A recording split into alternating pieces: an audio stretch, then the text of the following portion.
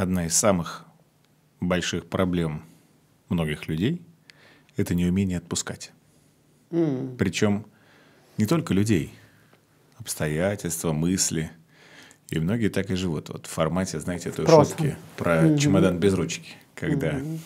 выбросить жалко, а нести тяжело. Ну, и это реальная проблема. При этом я обращал внимание, насколько вы легко отпускаете все. Вещи, людей, мысли и даже прошлые достижения. Вы на них не циклитесь. И вы не выпячиваете их как кардинал, и не говорите, а я, я забываю же, периодически. А я же. Да, то есть, а я же, а я же. Вот вы этого не, не, не делаете. То есть, вы не будете там идти и кричать, что а я была там. и все, и вот дальше можно много чего перечислять. Как так? Как научиться отпускать? Я даже не знаю как. Но я думаю, скромность должна быть какая-то. Ну, скромность, э, скромность по отношению к своему прошлому. Как позитивному, так и негативному. У тебя что-то произошло негативное, кто-то тебя обидел. Ну, как-то скромнее надо.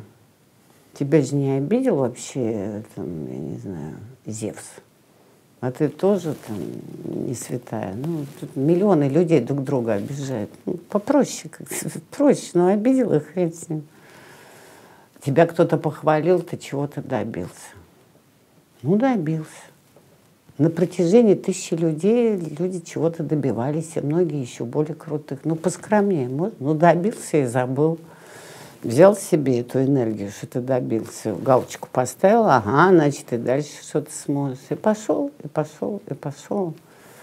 Я думаю, что для того, чтобы быть человеком, который может отпускать обиды, измены, собственные добродетели, собственные офигенные поступки, это человек, э, в котором преобладает скромность перед большим миром.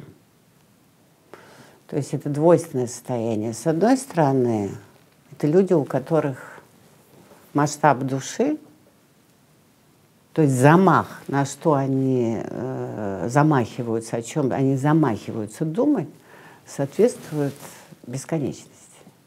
То есть они не говорят, это не мое, я не могу об этом думать, это слишком большое. Я не могу рассуждать о Вселенной, я не могу рассуждать а, и философствовать, потому что я маленький человек. Нет, у них масштаб огромный. Отсюда возникает эта тихая, скромная харизма. А с другой стороны, будучи вот такими, они относятся ко всему этому очень скромно. Почему?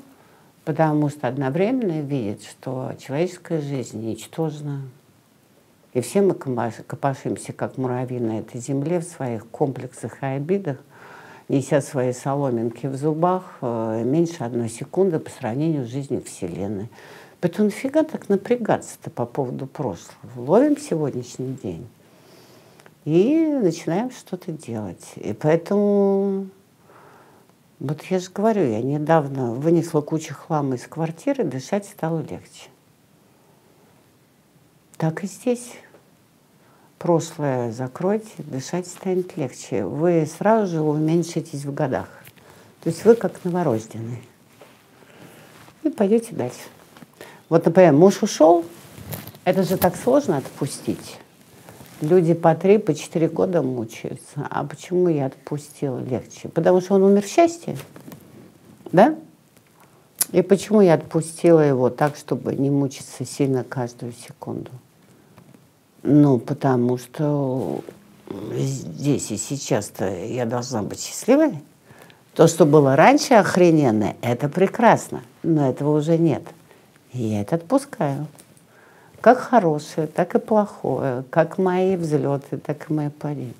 Нафиг. Начинаем что? С нуля. И вот это очень интересно. То есть нулевой уровень – это не с рождения – это каждую секунду, когда вы отпускаете прошлое, вы рождаетесь заново. Это дает вам прорву молодой энергии.